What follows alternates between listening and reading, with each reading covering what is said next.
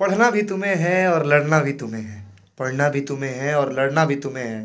लड़ाई खुद से है, ये समझना भी तुम्हें है। तो जय हिंद साथियों, मैं कुमार सा फिर से स्वागत है आपके अपने रेसर बाबू ब्लॉग्स पे। और आज की जो चर्चाएँ होंगी, वो बहुत इंपॉर्टेंट चर्चा होगी और इम्पोर्टेंट बात आपको जानने को मिलेगी। तो वीडियो को बिना स्किप किए हुए अंत तक ज़रूर बने रहें। और आप लोग जो ठंडी का जो हाल है, बहुत ज़्यादा मतलब बेहाल है। क्योंकि सूर्यदेव दो दिन से कल जनवरी को, फ़र्स्ट जनवरी को सूर्यदेव निकले थे, लेकिन आज तो कहीं दिखाई ही नहीं पड़ रहा और ठंडी का प्रकोप जो है, आज सुबह से टोपी नहीं निकली हुई है। और देख ही सकते हो आप, पूरा एकदम नज़ारा।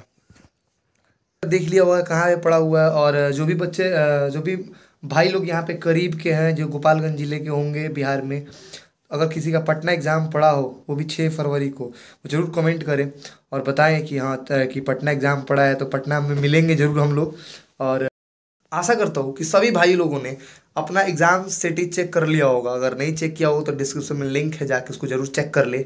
और चेक करने के लिए कुछ ज़्यादा कुछ खास नहीं, आपका नाम और एग्ज़ाम जो सिटी डाले हैं फ़र्स्ट सिटी का नाम और डेट ऑफ़ बर्थ पापा का नाम डाल दें, तुरंत आपका एग्ज़ाम सिटी निकल जाएगा। ठीक है? और अगर आपका, का फॉर्म अगर एक्सेप्ट नहीं हुआ होगा रिजेक्ट हो गया होगा तो आपका सिटी नहीं मिलेगा।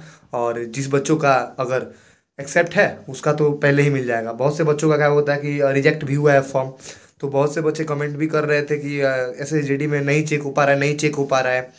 तो ये जो नहीं चेक होने का जो रीज़न है ना, वो क्या है कि रिजेक्ट हो गया है फॉर्म आपका। फॉर्म भरने में, फॉर्म फिलअप करने में कोई गलतियाँ हुई होंगी, कोई त्रुटि हुई होगी, इसके कारण क्या फॉर्म रिजेक्ट हो जाता है। और क्या होता है, वो जो आप जहाँ से फॉर्म फिलअप करवाते हैं, उस सब स्वयं, वो उन, जितनी भी जिम्मेवारियाँ होती हैं, उनके ऊपर हो जाती हैं। क्योंकि आप तो गए, अपना डॉक्यूमेंट दिया मैट्रिक का या इंटर का जो भी लगाए, अपने अपनी जाति बताई, आपने सब चीज़ करवा लिया, उसके बाद से क्या फॉर्म रिजेक्ट होता है तो गलती किसकी होती है? आपकी नहीं। जिसने फॉर्म डाला है, कुछ उसने गलती कर दिया होगा, इसके कारण आपका फॉर्म रिजेक्ट हुआ। ठीक है? तो ये उस पर अगर नेक्स्ट टाइम ट्राई करना, अगर किसी का एज लास्ट है और वो फॉर्म रिजेक्ट हो गया तो वो थोड़ा सा दुख की बात है। बट ये मान लीजिए रिजेक्ट हो गया तो कुछ कर नहीं सकते अभी से, ठीक है? पहले अगर फॉर्म एडिट का ऑप्शन भी आता था, इस बार शायद एडिट का ऑप्शन भी आया था तो आप उस टाइम एडिट करवा देते। मेल पे मैसेज चला गया होगा कि फॉर्म आपका रिजेक्ट है।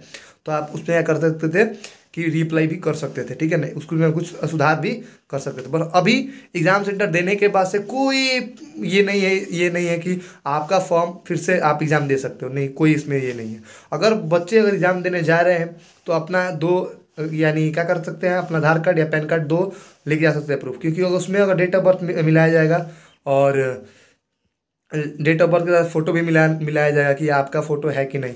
और जो बच्चे फॉर्म फिलअप किए हुए हैं, उसमें फ़ोटो अगर लगाएँ, जैसी फ़ोटो लगाए हैं एग्ज़ाम सेंटर में वैसे ही फ़ोटो लेके जाएँ, ठीक है? अगर उसमें फ़ोटो का डेट डलवाए हैं तो डेट वाला फ़ोटो ही लेके जाएँ। अगर जिस फ़ोटो जिस डेट का फ़ोटो है, अगर डेट वाला फ़ोटो लगा हुआ है तो उसी डेट का फ़ोटो आप लेके जाएँ एग्ज़ाम सेंटर में।